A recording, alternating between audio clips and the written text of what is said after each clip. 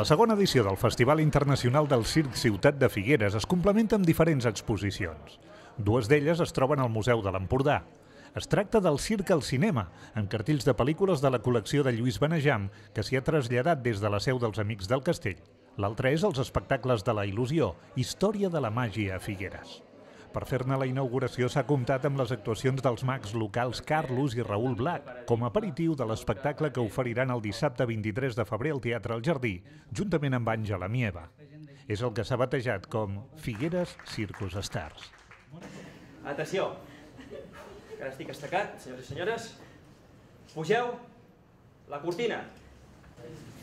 Recordeu que el senyor Otani portava una magnífica jaqueta per no tenir fred, sí o no? Sí. Sí? Un, dos, tres, baixeu la cortina.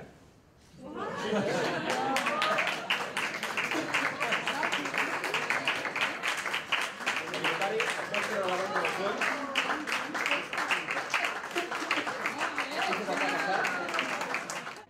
Les exposicions al Museu de l'Empordà es poden visitar fins al dia 10 de març. D'altra banda, a la Galeria d'Art Dolors Ventó s'hi mostren 20 obres de Jordi Sàbat amb una visió del món del circ amb molta ironia. Aquest dissenyador gràfic de Palafrugell pot intercanviar els caps entre toros i toreros o fer que un elefant amb estelada desconfiï d'un domador amb corona.